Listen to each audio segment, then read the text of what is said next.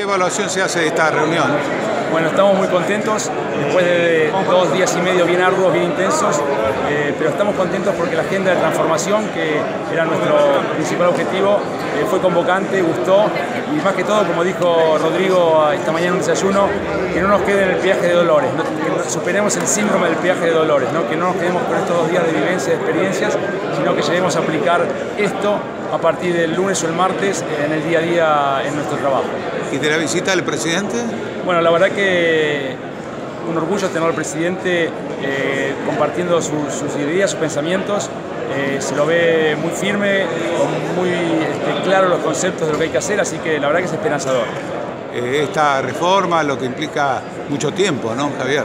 Sí, sí, sin duda, pero bueno, este, la verdad que es, como te decía, es esperanzador.